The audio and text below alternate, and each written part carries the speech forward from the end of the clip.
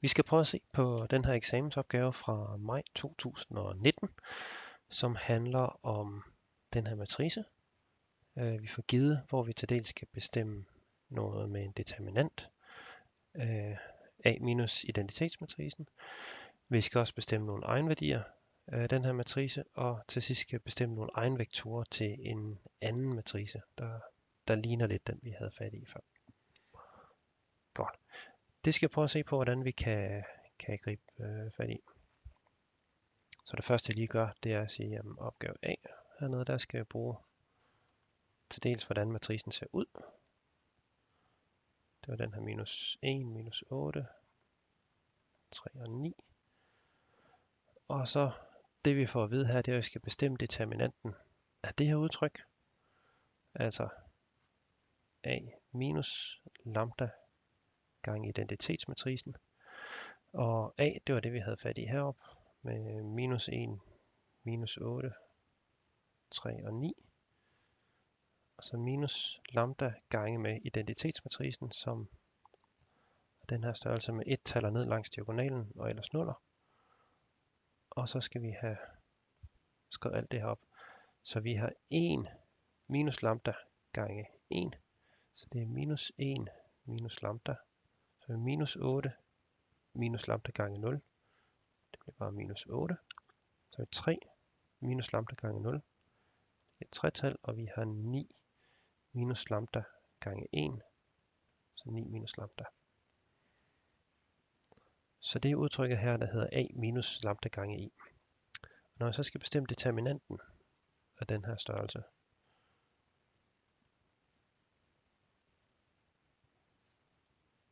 så skal vi først tage, nu er det en 2 gange 2 matrice, så determinanten er givet ved at tage øh, produktet af alt det, der står på den nedadgående diagonal, og trække produktet af det, der står på den opadgående diagonal fra det.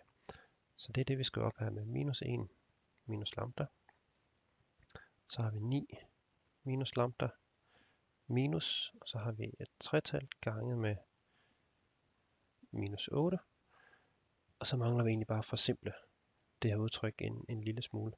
Så jeg ganger ind i parentesen, og forhåbentlig bliver tingene lidt simplere at se på der. Vi har minus 1 gange 9.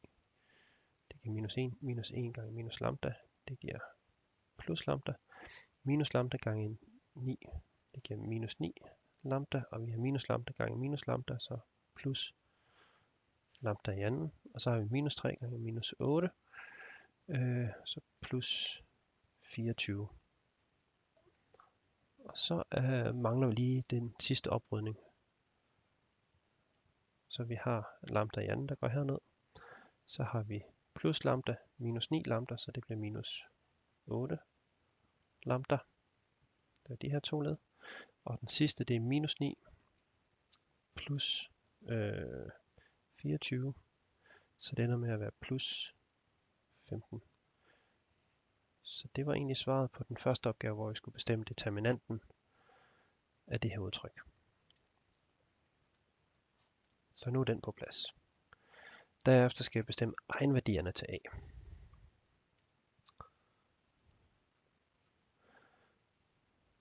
Så bestem egenværdier. Godt.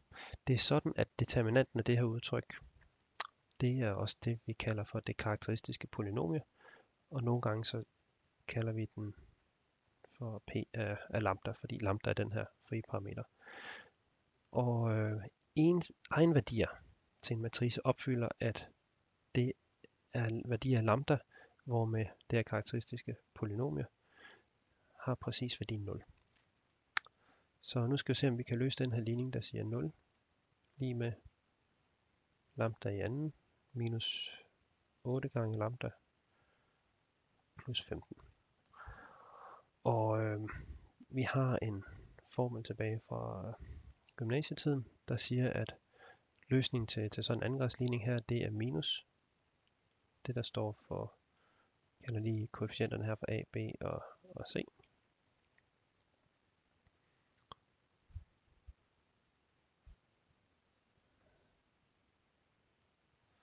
Sådan der.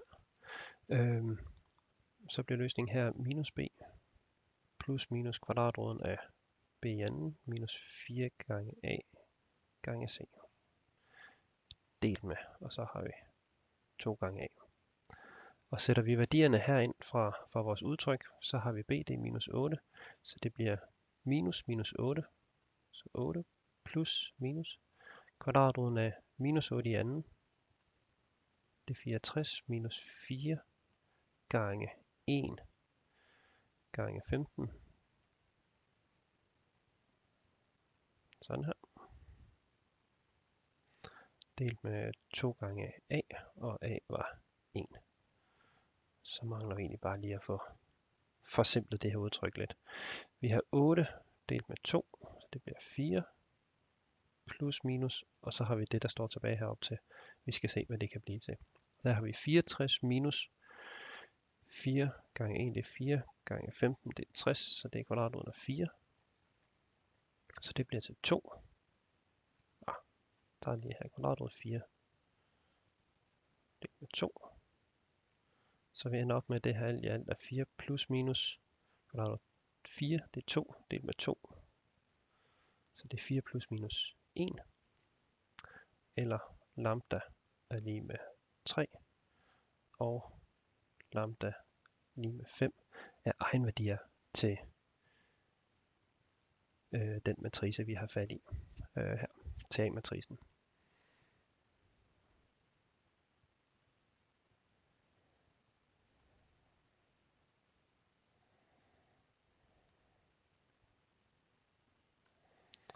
Så nu er vi nået til delopgave B, der er blevet løst. Så skal vi se, hvad det beder os om i, i den sidste. Og der kopierer jeg lige det her ned.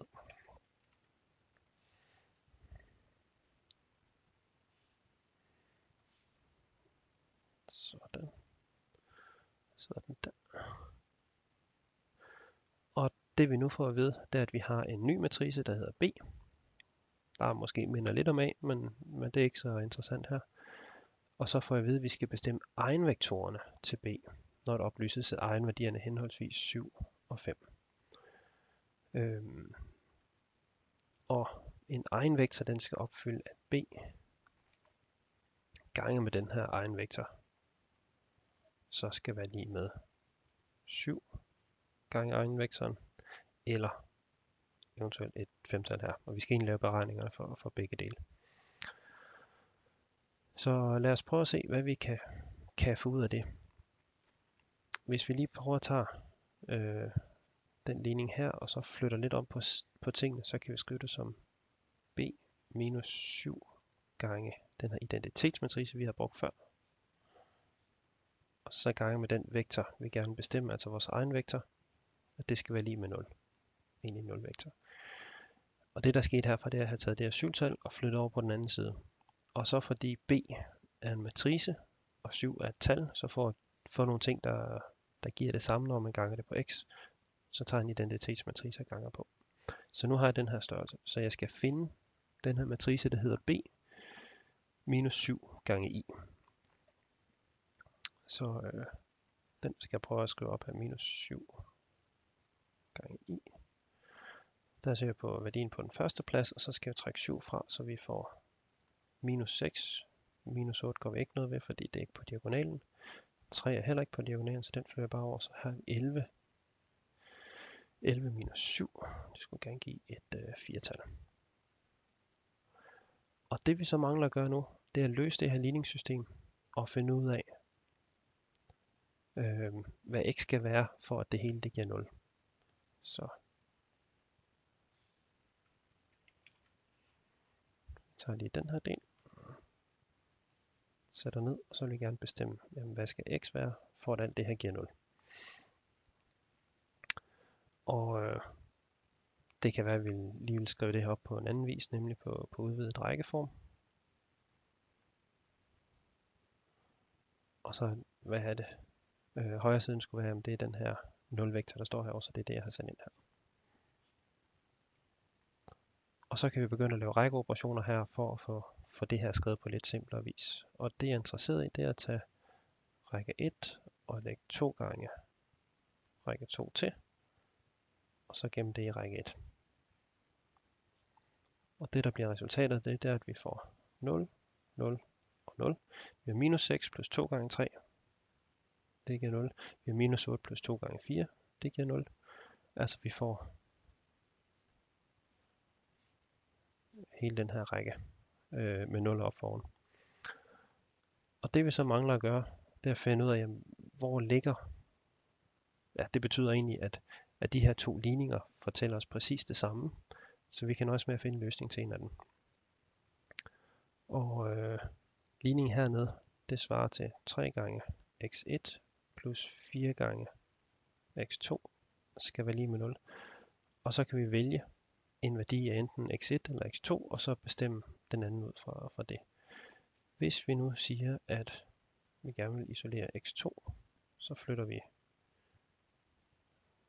den her x3 over, eller 3x1 minus, over, minus 3x1 over på den anden side. Øh, det giver et minus, og så skal delt med 4. Og så har vi, så kan vi sætte en eller anden vilkårlig værdi af x1 ind. Hvis jeg nu sætter den til at være 1, så får vi, at x2 skal være minus 3 gange den værdi, vi havde før, delt med 4, altså minus 3 fjerdedel. Så det giver os også en egen vektor. Der har værdien 1 for oven, og så minus 3 fjerdedel for neden. Øhm, for lambda lige med, og hvad var det? 7, vi havde sat den til. Så det var den ene, vi havde fat i. Og så skal vi gøre samme sæt af beregninger bare for øh, lambda lige 5. Så øh, lad os gøre det. Nu skal jeg egentlig bare lægge 2 til, til diagonalen her. Det gør vi lige her også, så vi får minus 4, minus 8, og vi har, hvad vi skulle lægge til.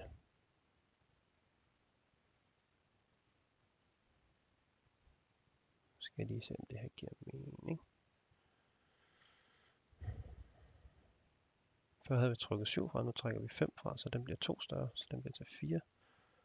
Og den der bliver så 2 større, så den bliver til 6.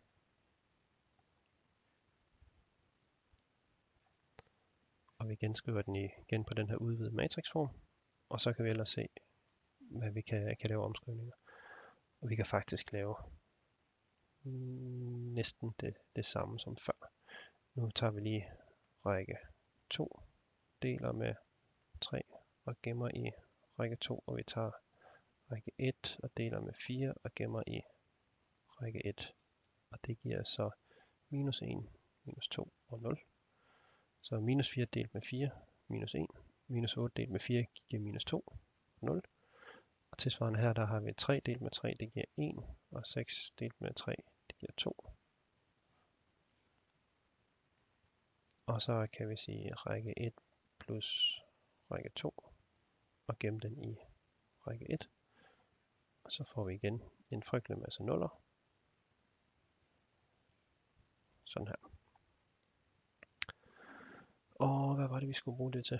Jo, så den ligning, vi ender ud med her, det er x1. 1 gange x1 plus 2 gange x2, og det skal være lige med 0. Og vi kan igen prøve at isolere x2. Det bliver så noget med minus x1 delt med 2. Vi flytter den her 1 x1 over på den anden side, og så deler vi med 2.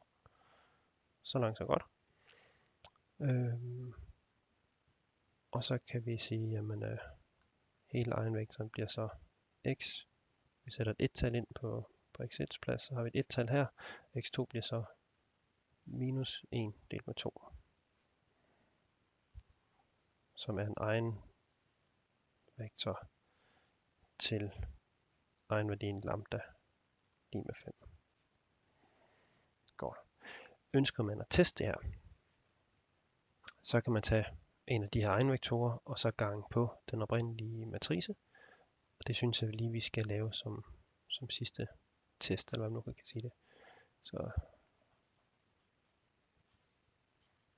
der, og så vi har 1 minus 8, 3 og 11.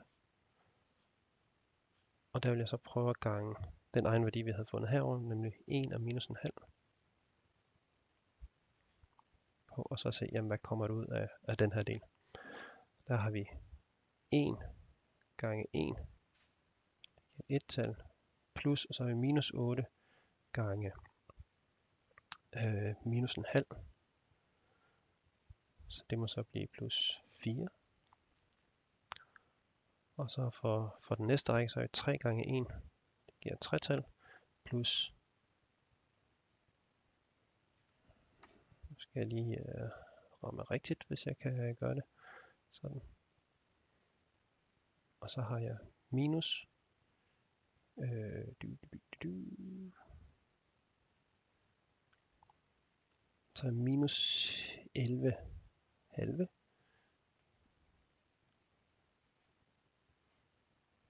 Og det skal lige have forsimplet lidt. Den første, den er let nok, det giver 5. 1 plus 4, det er 5. Og det er så 5 halve, der står her.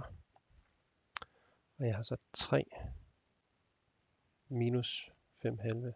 Det er 6 halve, så det må blive så. Jeg tror, jeg fik sagt noget sludder her egentlig. Der har vi 6 dele minus 11 dele. Det giver alt i alt minus 5 dele. Og det her, det kan skrives som 5, vores egenværdi, gange med vores egenvektor, vi startede med. Så det var vores lambda, og det her det var så vores egenvektor.